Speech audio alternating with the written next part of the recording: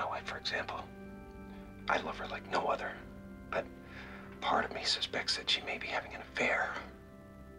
And I'm, I'm probably just being paranoid here, but I get the feeling that the entire town is laughing at me behind my back. Charlie? Hey, you? Eventually, Charlie's worst fears were realized. I'm so sorry, Charlie. Really, I am. But I have to do this. I found my soulmate.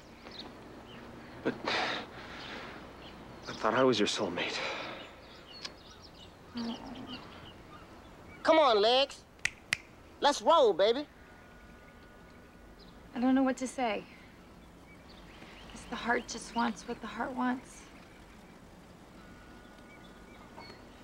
Bye, Charlie. But you said you'd eat whale blubber. I should be eating blubber all right, just as soon as I free will it.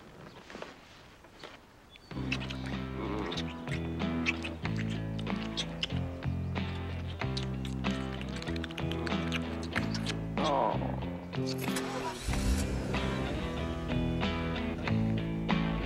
It's funny how a man reacts when his heart gets broken.